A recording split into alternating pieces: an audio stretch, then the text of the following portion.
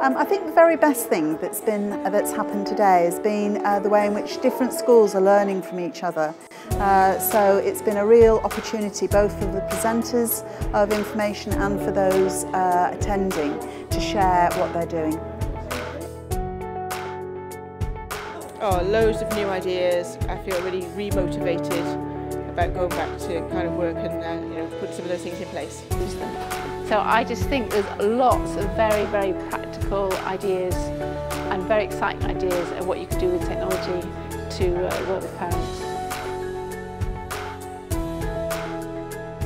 PEN's helped me um, greatly within my role because without being a Penn member I would have felt isolated so it's an opportunity for networking, sharing um, what services are out there within Manchester plus government legislation that seems to be changing.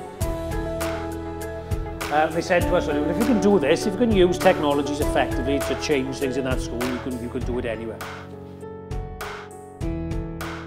There's tools you can use out there, guys, that are free, even at the age of four, to help children communicate effectively back with the parents, the school to parents, parents to school. This works both ways.